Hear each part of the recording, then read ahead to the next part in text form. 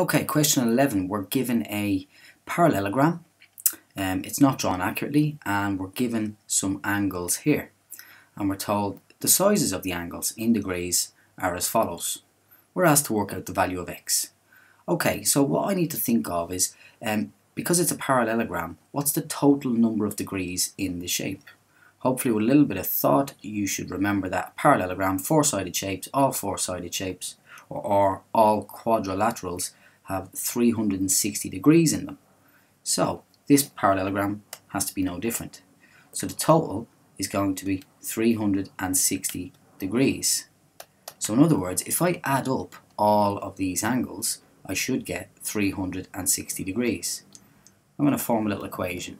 2x plus 3x minus 15.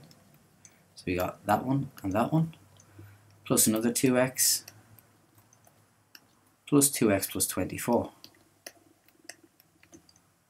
plus 24 must equal 360 degrees.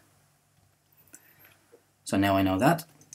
I'm going to tidy up the left hand side of this equation. I'm going to collect like terms together. So 2x, 3x is 5x, 7x, 9x.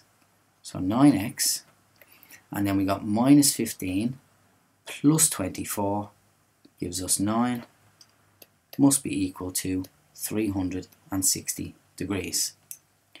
So now I'm going to take 9 off both sides.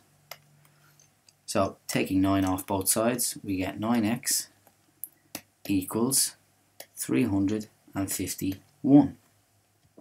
So just to remind us there, taking 9 off both sides and then finally I'm going to divide both sides by 9.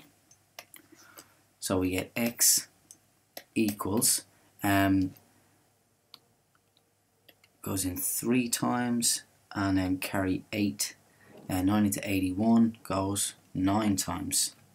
So x is 39 degrees, and if you want you could substitute it back in here, 39 degrees, um, so that would be obviously 78, and so on. You could work them all out, add them up, make sure that they add to 360.